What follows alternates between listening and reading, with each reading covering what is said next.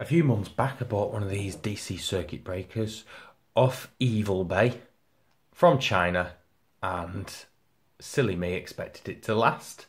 It didn't. It just is dead as a dodo. So I thought we'll take it apart and have a look how it works. This one is rated for 300 amps. Like I say, a couple of quid. You got a couple of terminals at the top and bottom, little bolts, and then these rubber little grommets that cover the top just to protect it from dust, I suppose. It latches open and closed, and then the reverse side. The plastic is actually quite rigid. It's held together with these like split pins, rivets there, so I'm going to snip these rivets and have a look inside.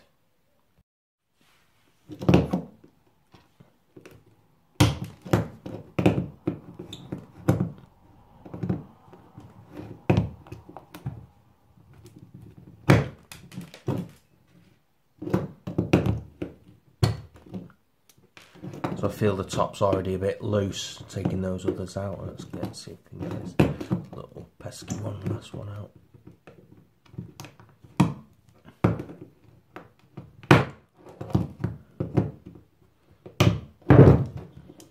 Alright.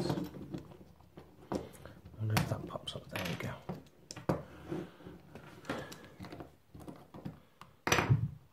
Alright. So we've got a bit of a a rubber seal in between, taking off the top.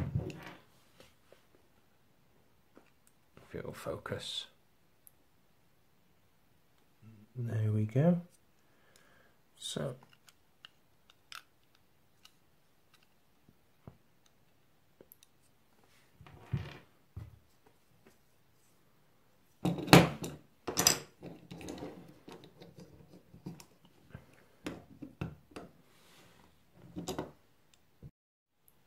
Here's a lovely inside view. It's made up of a bimetallic strip. A square one, so to speak, but yeah, it is a bimetallic strip. I've already had a nosy in here, so I'm cheating a little bit, but didn't want any unexpected surprises. So here's the, the arm that triggers down. The strip is pushed into the contact, and then it's triggered up there. And what failed in this was this trigger here had become misaligned. But let's have a look at the bimetallic strip. So we'll get this bolt off. So this is made up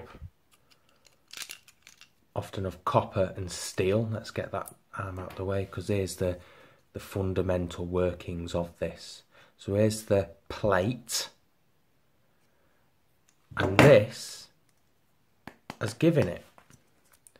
And what happens is, as current's flowing through,